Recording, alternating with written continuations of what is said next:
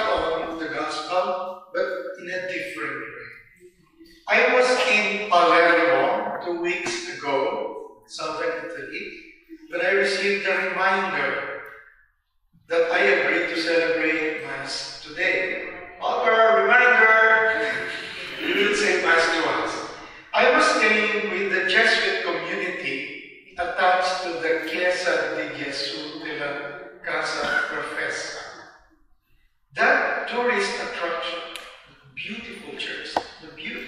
Tourist attraction is a wonderful example of Baroque design. You should see it. But many are not aware that there is an elevated chapel behind the main uh, nave. It is called Capella del Salvador. It was a venue often used by the Congregation of the Cross and Martyrdom of Christ in many of their collective discernment meetings in early 1900s, like the one you're doing now. But one thing that struck me there was the circle of statues of women everywhere. Statues of women representing great and noble virtues. Of course, there's a statue of a woman for the virtue of prudence. There's a statue for mercy, misericordia. There's a statue for purity and innocent, innocence. But the very first virtue that you enter from, you see on the left side, there is the statue of the woman representing the virtue of sagacitas, sagacita, or sagacity. Ah, I heard about not very clear. I felt like that virtue should speak aloud to us today, especially when we need to discern where the Lord is leading us in these confusing times. Sagacity comes from the French sagacité, which in turn is derived from the Latin sagacitas, or quickness of perception. You look at the situation and you grasp the, the meaning, the value of the situation. Many people associate sagacity with political intelligence, of detecting where power lies and choosing the right strategies for maneuver. But it is not only true in politics. Sagacity touches on personal and even spiritual maturity that allows us to see beauty even in ugly situations. Sagacity, therefore, is the quality that makes a person a sage.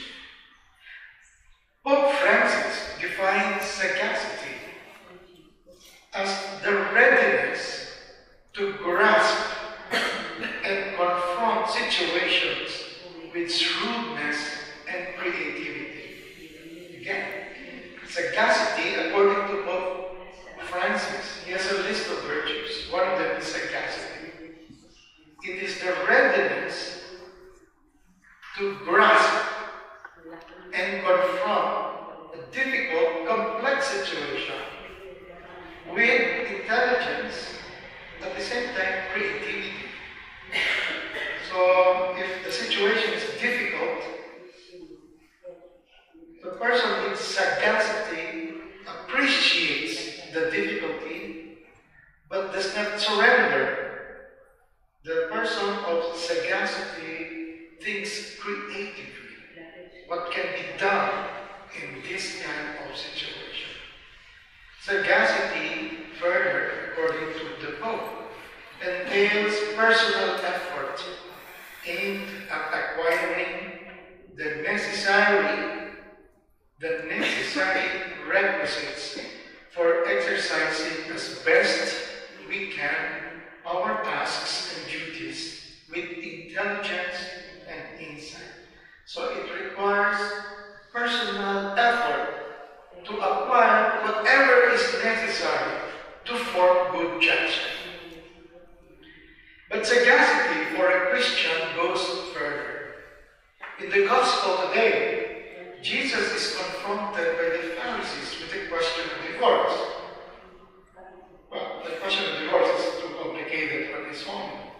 And Jesus answers, that is the important thing. Jesus answers them, Have you not read that in the beginning the Creator made them male and female? So they are no longer two but one body.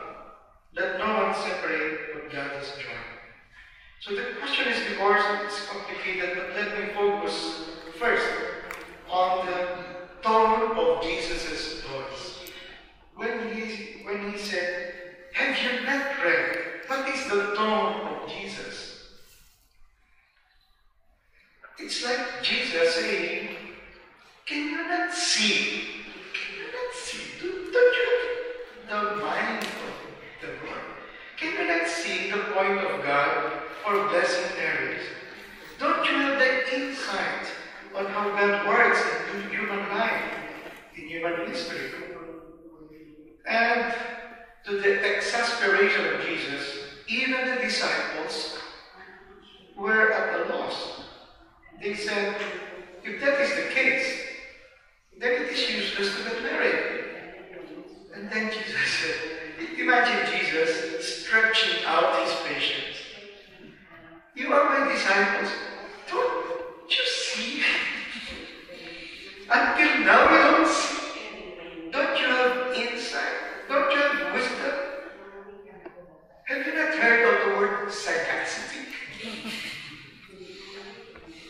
now, this virtue is so challenging that there is actually a whole new journal, a whole new journal called sagacity, Journal of Theology and Christian Education. It's an international journal called sagacity. According to the journal, sagacity is the capacity for astute and sound judgment. It is a kind of thinking that involves engagement with human existence. So it's not just thinking inside the library. It is a kind of thinking that emerges when you involve yourself in the world with honest intelligence, with creativity, purpose, and integrity. Without that kind of intelligence, then our decisions will be based simply on impulses. Oh, I was hurt. Oh, I saw poverty. So let's do this. No, sagacity is the astute engagement with human existence and human experience that can both, this is the function of sagacity, it, it can test the ideas, previous ideas, our beliefs, it can test that with purposeful activity and modify previous tendencies through thoughtful reflection.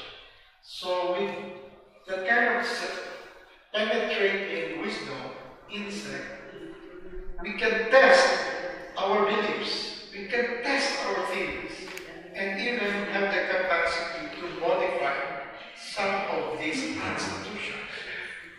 But to this, I would, sorry, it's a bit heavy, but I would still add something more.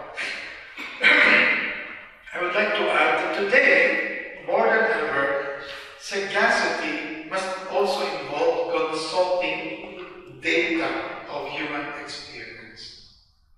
This means appreciating and integrating the results of even secular research and findings about the situation of humankind. So we derive insight from experience, but if we are serious, we should also consult the results of some empirical research. One example of the set of data that we need to pay attention is the Global Risks Report. I printed this for you the Global Risks Report 2020 Insight Report. It tells you what is really deeply concerned, uh, uh, bothers people all over the world. According to this 2022 report, 41.8% of the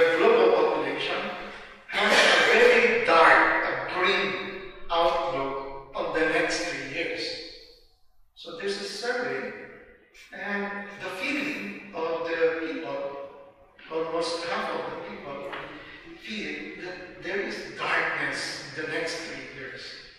37.4% fear of fractured societies, dividing the world into winners and losers. So fractures, division. There's fear of more division.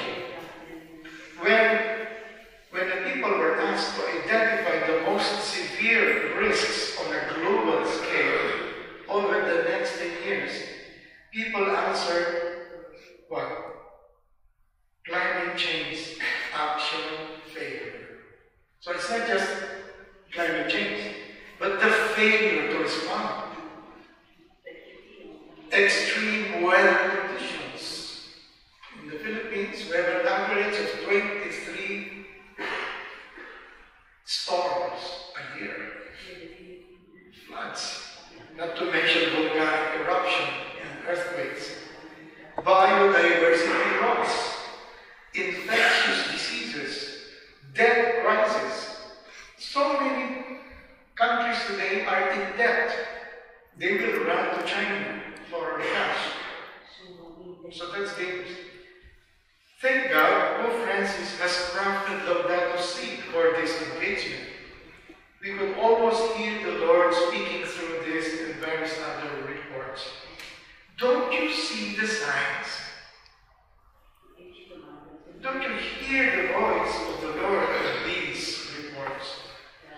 Now, if we take these and other reports seriously, then we can probably expand our interpretation.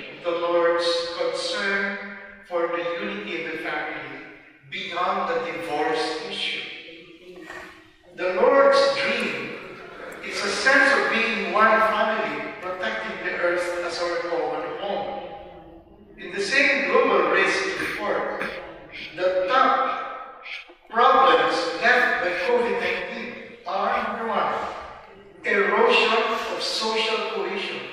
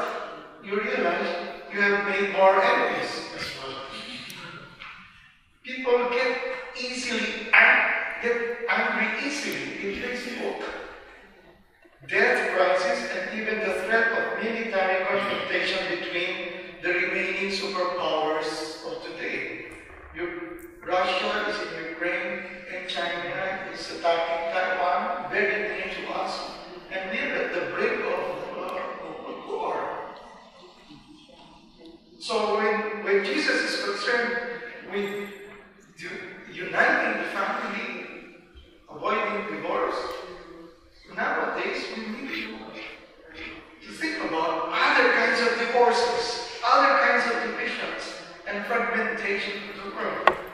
Thank God again for Pope Francis' encyclical Fratelli Tutti that reanimates authentic dialogue and a better politics for today's fragmented, pandemic infested, infected world. Now the question again, how much of these sets of data and church teachings inform our deliberation so before I end, let me go back to your chapter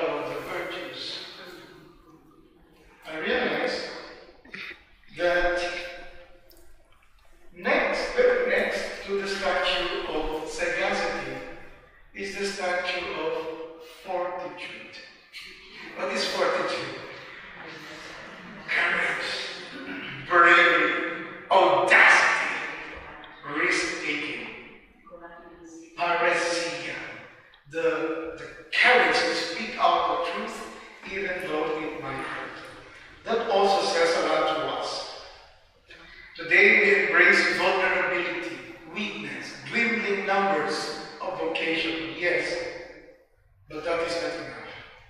The call for synodality offers new energy and new strength.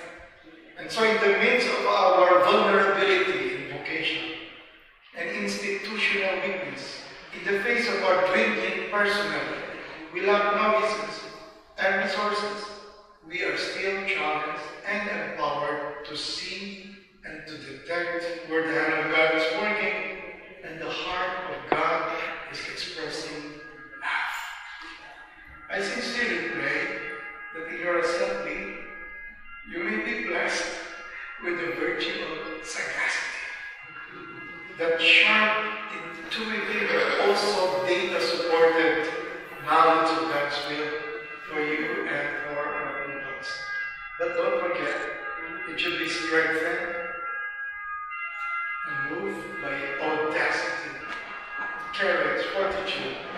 forget joy. And this will be with you in this challenging time.